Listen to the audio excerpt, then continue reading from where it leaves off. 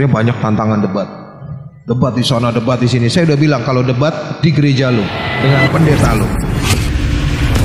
Seru nih sebetulnya ini masjid soalnya. Apa sih Angel? Dakwah-dakwah awal kita itu termasuk saya sendiri kalau hari Sabtu Minggu gini nih pagi kan tapi kalau di bawah tahun 2010 mah masih jarang ya pengajian.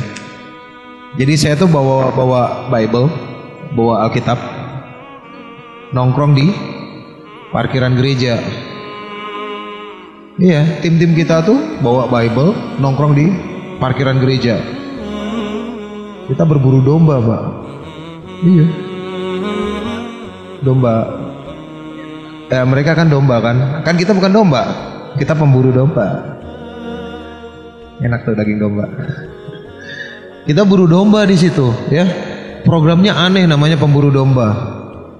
Jadi kita cariin. Jadi setiap Sabtu Minggu tuh kita panen. Satu orang bawa dua keluarga, bawa satu keluarga, masuk Islam. Akhirnya banyak tantangan debat. Debat di sana, debat di sini. Saya udah bilang kalau debat di gereja lu dengan pendeta lu. Gak mau jemaatnya harus jemaat gereja. Saya nggak mau ada orang Islam yang ikut debat. Dulu itu salah ternyata. Kalau kita hajar dia secara akidah, memang dia kalah di situ. Iya. Masuk Islamnya dengan perjanjian karena kalah debat. Oh. Jadi setelah dia dia kan cari cari lagi karena dendam kan? Oh, dendam. Cari lagi gitu, cari lagi, cari lagi buat buat buat ngalahin gitu kan. Akhirnya Iya. debat tiada henti nih. Hmm. Akhirnya 2006 2007 saya nyerah sama keadaan. Itu pun setelah Allah kasih tunjuk. Saya dipanggil ke Dubai diskusi sama seorang murtadin. Dia hafiz Quran, dia bekas hafiz Quran, dia hafal Quran itu sesuai dengan tujuh tafsir. Jadi bukan Ibnu Kasir ya, yang standar nih. Di luar jalan lain yang sering kita baca juga. Jadi dia hafal tujuh tafsir yang berbeda. Dia hafal lebih dari 20 ribu hadis. Dia punya sertifikat penghafal hadis. Dan dia murtad. Saya itu pertama kali baca profilnya di hotel, udah males datang. Datang ke ruang seminarnya. Hah, kenapa harus saya kayak gini gitu nemuin musuh ya? Biasa kalau murtadin kelas ocok-ocok, kelas kelas kampret gitu, saya sikat aja sih.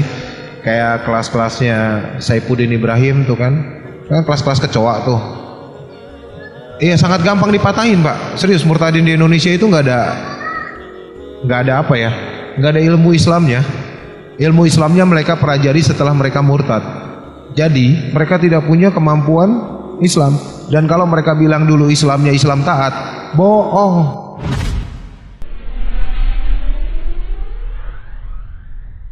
Ternyata setelah saya belajar sirah nabawi ini banyak sekali yang bisa kita aplikasiin. Simple thing ada di sini. Asli. Banyak hal-hal sederhana yang ada di sini. Kita persuasif, kita cuma ngenalin adab dan akhlak kita sebagai seorang muslim. Dan setelah itu Allah angkat itu mualaf center, Allah tambahin itu mualaf. Banyak banget udah kayak magnet aja kita jalan. Di Malaysia kemarin juga ada yang tiba-tiba sahadat. Saya bilang, Pak Cik, awak tak kenal Pak Cik, ini siapa? Kenapa tanya-tanya tentang Islam kah? Muka you tuh nampak seperti orang Islam. Tapi Cina juga. Mau tanya apakah? Mau tanya sedikit lah boleh kah? Boleh. Sambil kopi kah? Boleh. Kopi kita. Ngobrol dua jam dia masuk Islam. Gak tahu ini Allah yang hadirin. Asli jangan pernah nanya caranya gimana. Kita hanya nunjukin adab dan akhlak. Berapa orang udah DM saya? Saya bilang gak usah debat. Lu orang Islam. Mati lu ditanya tentang Quran. Ngapain lu belajar kitab orang? Simple. Satu. Dua. Tunjukkan adab dan akhlak kita sebagai seorang muslim dan mereka akan sendiri masuk Islam. Udah Allah buktiin belum? Udah. New Zealand baru kemarin. Ya kan? Allah buktiin. Cukup nunjukin adab dan akhlak kita sebagai seorang muslim. Kalau bicara program-program banyak. Ada yang baru jalan kemarin nih, agak-agak serem juga programnya sebenarnya. Nama programnya Angelo. Angelo. Angelo. Saya taunya Michael Angelo. Angelo. Ini apa tuh artinya tuh? Antar jemput.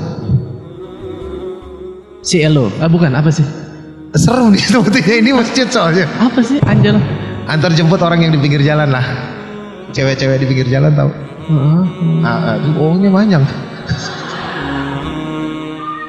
Paham ya? Ya, nggak usah disebutin ya. Ntar japri aja lah ya.